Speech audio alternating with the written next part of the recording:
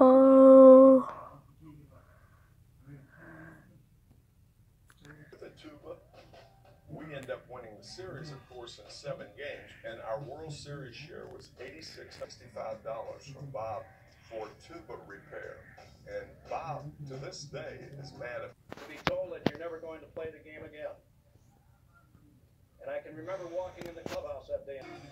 Coming up next, a lot of Are we doing what?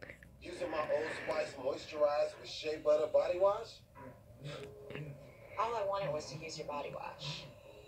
And all I wanted was to have a body wash.